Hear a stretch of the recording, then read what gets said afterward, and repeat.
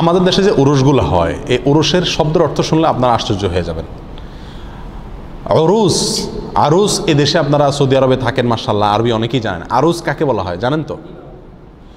নতুন বর, নতুন কনে, নতুন বর বিয়ে কর, মাত্র করল, একেবারে প্রথম প্রথম নতুন জামাই যেটাকে আমরা বলি এই নতুন জামাই বা নতুন বরকে বলা হয়, আরবিতে আরুস আর যদি মেয়ে হয় তাহলে বলা হয় আরুসাহ অর্স বলা হয় এই বিয়ের অনুষ্ঠান। অর্স বলা হয় কোনটা? বিয়ের অনুষ্ঠান। তো আমার দেশে যে ওরস বলে ওরস, ওইটা ওইখান থেকেই। কথা বুঝে আসছে? তো এই ওরস মানে বিয়ের অনুষ্ঠান। তো আসলে কি আমাদের দেশে যে ওরস হয়, সেখানে কি কারোর বিয়ে হয়? সেখানে কারোর বিয়ে হয় না।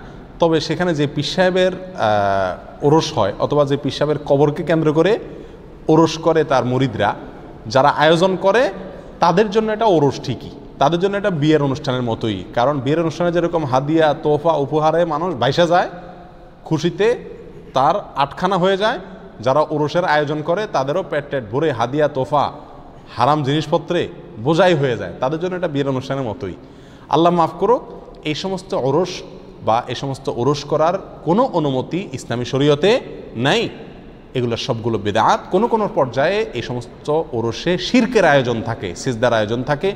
গাইরুল্লাহ বা আল্লাহ ছাড়া অন্য কারোর কাছে সাহায্য, প্রার্থনা করার ব্যাপার স্যাপার থাকে। আর ওরসতে, ওরসের অন্যতম আইটেম তো আমাদের দেশে জুয়া তো আছেই। জুয়া ছাড়াতে কোনো ওরস হতেই পারে না। আল্লাহ মাফ করুক, এ সমস্ত ওরসের যাওয়া, সে ওরসে কোনো জিনিসপত্র কেনা বাচা হলে সেগুলো থেকে কোনো কিছু কেনা, এটা জায়েজ আছে কিনা? উত্তর হলো না ভাই। এটা কি করা নাই? জায়েজ? নাই। কেন? কারণ হলো হারাম যেই বাজারটাই হারাম, যে মজলিসটাই হারাম, সেখানে কোনো কিছু কেনা মানে সেই মজলিসটা জমার জন্য কি করা? সহযোগিতা করা। আর আল্লাহ সুমাতাল্লাহ কোরআন করিমিতে বলেছেন, ওয়ালা তাআওয়ানু আলাল ইফমি ওয়াল উদওয়ান।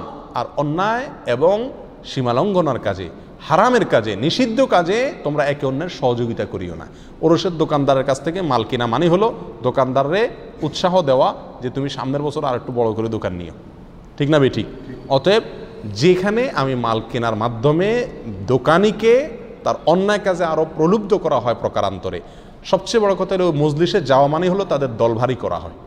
সে ওরসে, আমি গেলাম মানে একটা লোক বাড়লো, সংখ্যাটা বাড়লো, তারা উৎসাহ আরও বেশি পেল, পেল, তাদের দলটা ভারী হলো। কোনো অন্যায়কারীদের দল ভারী করাও কি নাই? শরীয়তে জায়েজ নাই।